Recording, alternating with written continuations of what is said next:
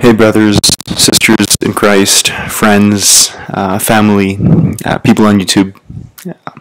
When it comes to worship on Sunday morning and Sunday evening, are we allowed to use contemporary music? Is that okay? Is that acceptable to God? What about music that seems to manipulate people's emotions, provoking them to maybe what some might call an emotional high? Or should we stick to more old school, traditional, time tested hymns and psalms and spiritual hymns? Well, that's the controversy that we're going to be dealing with. My name is Tim. This is our final episode in our 13 or 12 series um, YouTube series, um, going through chapter by chapter of this book called With Reverence and Awe Returning to the Basics of Reformed Worship. Today, our chapter is called Song in Worship. And what we've been trying to do is um, recap or summarize every single chapter and just pull quotations from the book, and, you know, as if you're reading the book. Um, to be honest, this has taken me like a year to do. Um, I've been a little bit busy, so finally I've gotten a good time to uh, get on it and record this last video, and and hopefully we'll finish strong. So the chapter opens with a question. It says, "For whom does the church sing and worship?" And it answers with Psalm 98 verse, verse 1, quote, "O sing to the Lord a new song, for he has done marvelous things." His right hand and his holy arm have gotten him victory. As we turn our attention to music, we come to the last and extremely divisive topic when it comes to our contemporary setting. It's what we call the worship wars. And the worship wars go back in history. It's an in house debate about singing, and the sides were divided between those who were more traditional. They defended hymns, the hymns of the 18th, 17th, 19th century, versus those who were advocating more contemporary music, who instead insisted on the use of praise songs from the 1970s and 80s. Now, when you visit your local church, when you visit many, many churches, you'll see who's winning these debates, who's winning, which side is prominent. This is significant because the church has long understood the importance of song and worship. Martin Luther, the reformer, said, for instance, that music was a gift from God that had the natural power of stimulating and arousing the souls of men. Calvin likewise stressed the power of music when he said, quote, We know from experience that song has great force and vigor to arouse and inflame the hearts of men to invoke and praise God with a more vehement and ardent zeal.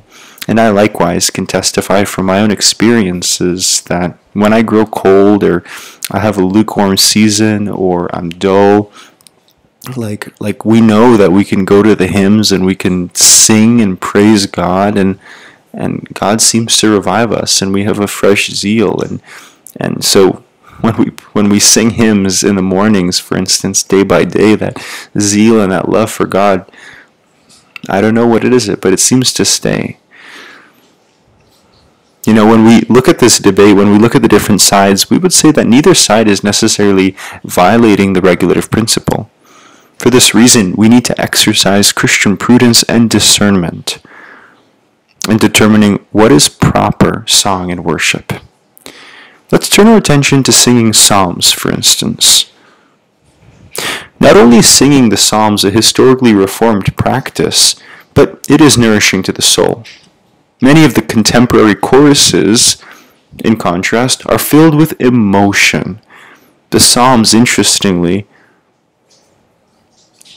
are full of just as much emotion, but the difference between psalms and contemporary music, what distinguishes them, is that the Psalms are inspired by God the Holy Spirit, whereas contemporary songs are not.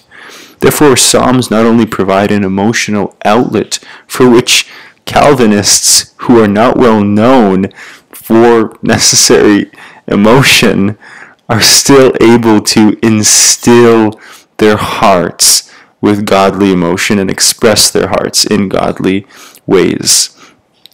Next, let's move on to the brief discussion of how the regulative principle of worship should inform our congregational singing.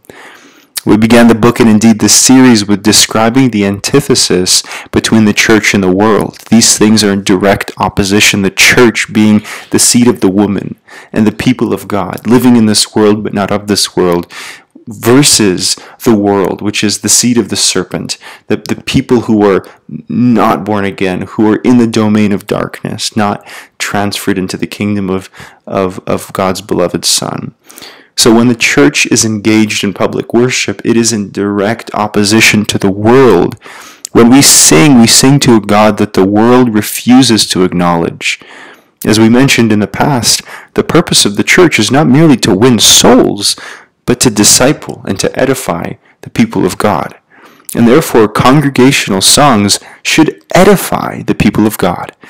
We shouldn't use music as a vehicle to attract tourists or outsiders or appeal to the unchurched world. Now, pausing there and moving yet to another principle, we think of the way we sing in public worship, which is the way that we approach the Lord, and that is with reverence and with awe. Godly fear should characterize our song, both in word and in melody. It is good and wise to ask whether a given hymn for worship will cultivate the sensibilities of reverence along with self controlled discipline and moderation. John Calvin believed that song was chiefly a form of prayer. It was not, as many argue today, a way of teaching the word in order to communicate theology though I personally believe it is both, because I believe it's in Colossians 3 where it talks about sing psalms and hymns and spiritual songs with thankfulness in your hearts, and there's this language in that text or in that chapter, or maybe it's in another chapter, which which implies this idea of singing for the edification of your brothers and sisters in Christ, ministering to them through song. And since God is the audience of our singing, there should not be any performance component to it. Indeed, as we read in the outset, Psalm 98 verse 1 says, Oh, sing to the Lord a new song. One consideration that arises is this Is the choir singing to God on behalf of the congregation or ministering to the congregation as ambassadors of God? It's one or the other. Now, if ministers are the ones given the task of leading prayer in the public worship setting, is it proper for one part of the congregation who has not been ordained to lead in prayer for the rest of the church? Now, they imply that it's not, and only those people who are ordained should lead in public worship. Finally, the final consideration regarding songs and worship based on the foundation that we've built throughout the book is the place of the regulative principle in worship. God regulates how he is to be worshipped from his word. Worship that is acceptable to God is that which pleases God according to his revelation in Scripture. We may find ourselves yearning for the music of this world, but such yearning does not justify the use of such songs. And indeed, these authors talk about the example of the Israelites. When they were delivered out of Egypt, um, they yearned to go back to Egypt once they were in the wilderness. But that yearning is synonymous to our yearning being delivered out of the world, being now in God's kingdom, being now in God's sheepfold, being now the people of God, and still having yearnings um, to go to, for things of this world. Those are fleshy yearnings, not of God, not of the Spirit. So, we've demonstrated that worship, contrary to much public opinion, is not a matter of taste but of theological conviction. When we sing as a congregation, we give musical expression to the faith we profess, which is beautiful. When looking at older hymns and comparing them to newer praise songs, we notice the predominance of the first person personal pronoun in the latter.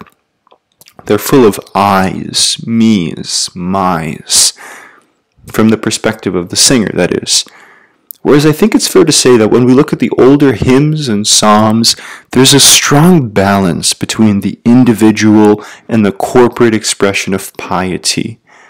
In the same vein, the newer songs have shifted from God centeredness to man centeredness. And Michael Horton addresses this when he says that the biblical text, the Bible never gives us the subjective apart from the objective.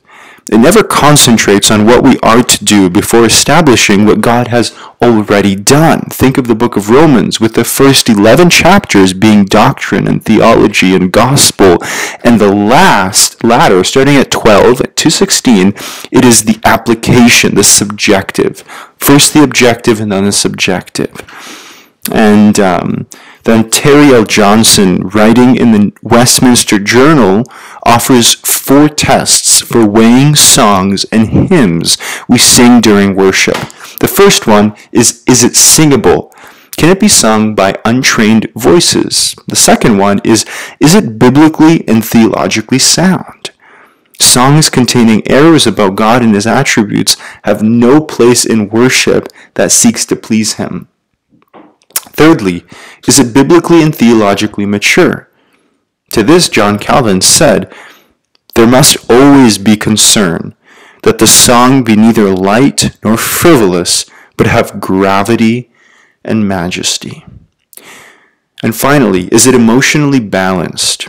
There is a difference between emotion and emotionalism. There's a difference between emotion being the product of the gospel and its effect and and like like it having a place in our lives and what God has done to us and God's grace and considering how we were full of sin but God saved us. That should lead us to emotion. That there should be an expression of emotion. That's one thing but then emotionalism is this emotional manipulation not necessarily through words but through the music and the melody and the build up and the drums and the guitar and so emotionalism, I believe, have no place in worship. So a strong emotional appeal in our music without accompanying theological content is manipulative. And those are the four tests, and that is the conclusion of the chapter. I, I didn't cover everything, but I think these are the biggest points, and hopefully you got maybe a deeper understanding of of how we should look at contemporary music and praise songs versus the older, more mature um, hymns and psalms. So that's that leads us to the end, and I will summarize the 12 or 11 chapters that we went through because this is the end of our series. If you um, this is your first time, welcome. If this is your 10th, 10th, 11th, 12th time, I hope that uh, this has been educational. So, chapter 1, we talked about the church and the world. Then we talked about the purpose of the church. Number 3 was a worshiping community. Number 4 was the holy day of worship. Number 5 was accept- acceptable worship. Number 6 was reformed liturgy. Number 7 was leading and participating in worship. Number 8 was worship with godly fear. Number nine was the means of grace. Number 10 was elements, circumstances, and forms. And finally, number 11 was song and worship. Thank you guys for watching if you made it this far, and God bless you. Bye bye.